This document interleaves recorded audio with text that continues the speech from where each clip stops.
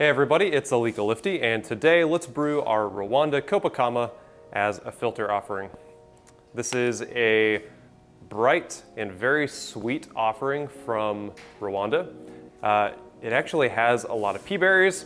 You'll notice this coffee is being released with a pea berry offering, and this one also has a lot of pea berries. It's a very sweet coffee. Uh, I wanted to highlight some of that acidity, so we're going to be doing uh, what will be known as our Kalita Wave recipe number two.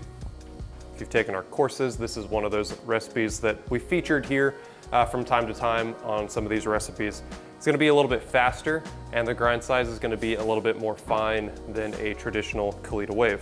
But we're still gonna be using 25 grams of our Rwanda ground medium fine. This was 11 on a Baratza Encore. This will be about 21 clicks um, on your Comandante C40. And this was about a six, uh, about seven, seven to six on a, a Mahlkönig EKS. So, uh, got my Kalita, I've got 25 grams of coffee and we're gonna be using 400 grams of water. Let's wet our paper filter. I always like to pour straight in the middle of my Kalita, let it fill up about a third to halfway before rinsing the sides. Let it drain, and dump our water. Let's dose our coffee. Shake our brewer flat. tare our scale. Let's get ready to go. So this recipe is a lot easier than our standard Kalita recipe, but it's a lot faster.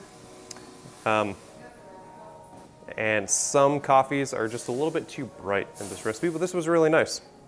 Let's start our timer. Let's bloom 50 grams.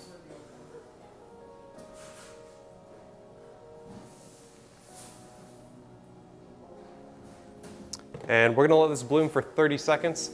And at 30 seconds, I'm gonna pour straight in the middle, uh, up to 200 grams total. And just let it rise up.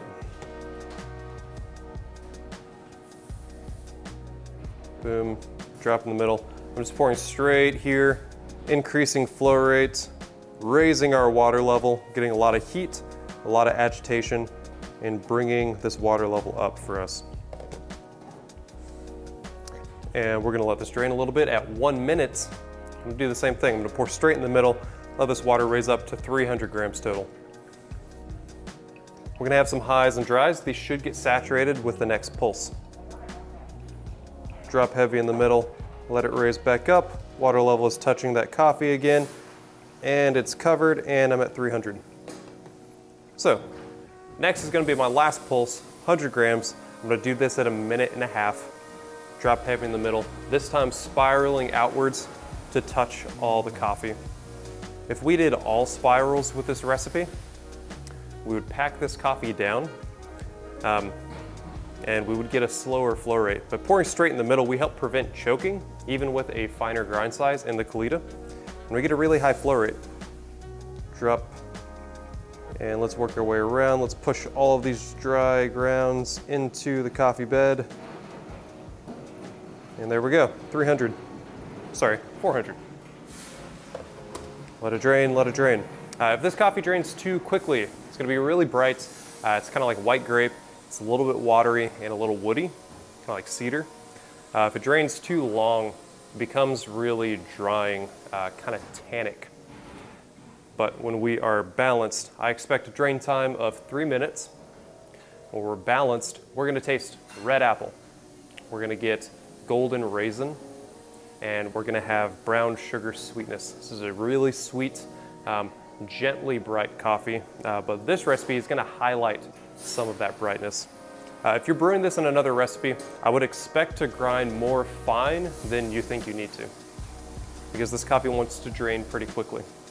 Uh, but also, we need a little bit finer grind to give us all of that rich sweetness. We are dripping out.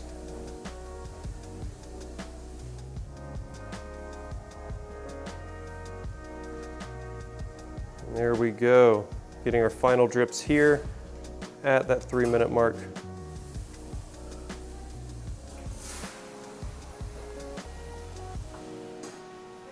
Very fragrant, really nice. Also nice in an AeroPress, but I just really enjoyed the, uh, the brightness and sweetness in the Kalita versus covering up more of that with that texture. Serve and enjoy.